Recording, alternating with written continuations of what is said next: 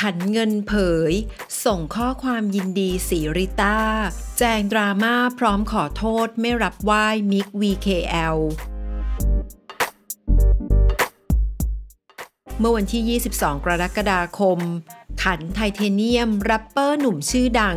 ได้ให้สัมภาษณ์ถึงเรื่องที่อดีตคนรักอย่างซีริต้าเจนเซนกำลังจะแต่งงานเร็วๆนี้ และปมดราม่าที่มิก BKL ลูกชายตลกดังหม่ำจกมก แรปถามทำไมไม่รับไหว้ถึง 3 ครั้ง รวมมาร่วมงานเมื่อผู้สื่อข่าวถามถึงเรื่องราวดีๆ ของอดีตคนรักอย่างซีริต้าเจนเซนที่กำลังจะมีข่าวดีนั้น ขันได้ตอบว่า อ๋อ ส่งข้อความไปแสดงความยินดีแล้วครับ ผมมารู้หลังจากที่เขาขอแต่งงานกันไปแล้วเกือบอาทิตย์ บังเอิญไปรู้ก็เลยส่งข้อความไปแสดงความยินดี ถามว่าส่งข้อความไปแล้วริต้าตอบกลับอย่างไรบ้าง ขันได้ตอบว่า เขาก็ดีใจบอกว่าขอบคุณมาก มันสำคัญมากที่มาจากผม เพราะบางคนเขาก็คงไม่กล้าเขียนอะไรไป แต่ที่ผมเขียนไปเพราะรู้สึกว่ามันไม่มีอะไร เราเป็นเพื่อนกันแล้ว และดีใจที่เห็นเขามีความสุขเมื่อถามว่าแล้วจะไปร่วมงานแต่งงานไหม ขันได้ตอบว่าอันนี้ก็ไม่แน่ใจครับ ว่าผมสมควรหรือเปล่า คือเกรงใจแต่ก็ยินดีกับเขาไปแล้ว ผมว่าเขาก็แฮปปี้แล้ว อย่างน้อยก็ได้กล่าวความในใจที่มีความสุข เห็นเขามีความสุข และเมื่อถามถึงดราม่าที่มิก VKL ลูกชายตลกดังอย่างมัมจกมก แรปถามทำไมไม่รับไหว้ถึง 3 ครั้ง ขันได้บอกว่าอันนี้ขำมากครับ ส่วนตัวผมเป็นคนง่ายๆ เจอใครก็สนุกสนานเฮฮา แต่ข้อเสียของผมก็คือเป็นคนสายตาไม่ค่อยดี ถ้าใครอยู่ไกลๆ ผมจะไม่ค่อยกล้าทักเลย เพราะว่าเคยทักผิดบ่อยแล้วมันดูเสลอเลยพยายามที่จะนิ่งไว้ แล้วถ้ายิ่งเป็นตอนกลางคืนก็จะยิ่งมองไม่เห็นเท่าไหร่ จริงๆ คือผมไม่รู้ตัวด้วยซ้ำว่าน้องเขาเคยมาไหว้ผม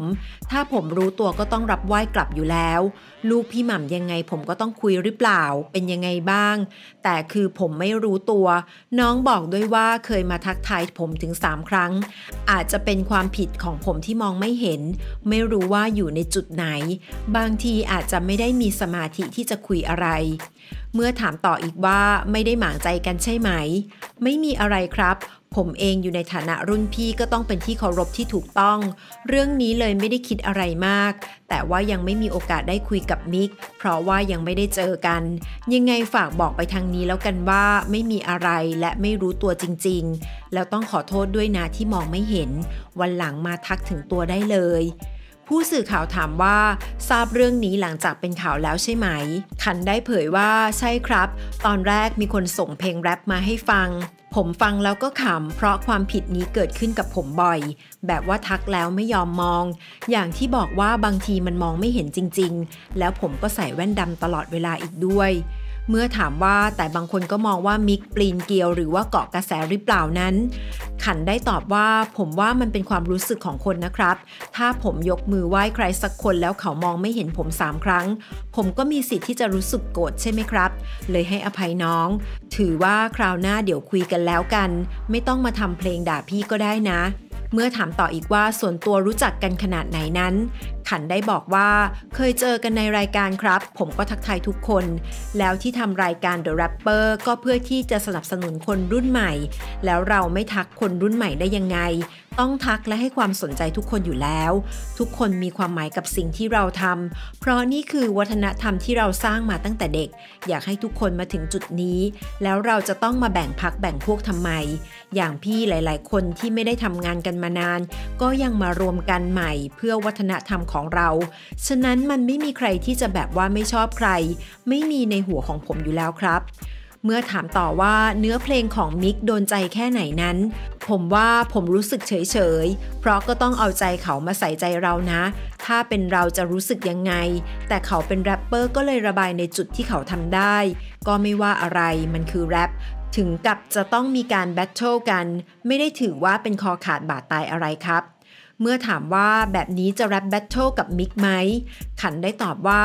ผมก็มีเพลงใหม่ๆครับ แต่ว่าไม่ได้ตอบกลับน้องเขาหรอก แต่เราก็ยังมีโหมดของความเป็นรุ่นพี่ นิ่งๆ มากไม่ได้ แต่ว่าไม่ได้ไปตอบน้องเขาเผอิญว่าเพลงที่กำลังจะทำมันออกมาใกล้ๆเคียงกัน แต่ก็ไม่อยากทะเลาะกับใครครับ โหมดแรปเปอร์จะเรียบร้อยอย่างเดียวก็ไม่ได้ ต้องมีคุยโน่นนี่หน่อย คือมีเพลงที่ผมทำกับโต้ง 2P มานานแล้วประมาณว่า เอาอย่างที่สบายใจ ซึ่งมันก็ดันไปเข้ากับเรื่องราวพอดี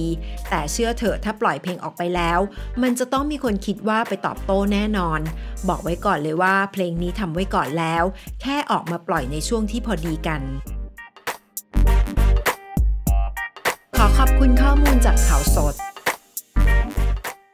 อย่าลืมกดติดตามพร้อมทางกดรูปกระดิ่ง เพื่อแจ้งเตือนทุกครั้งที่มีคลิปใหม่ๆ จะได้ไม่พลาดคลิปของเรื่องเล่าข่าวค้นนะคะ รักทุกคนค่ะ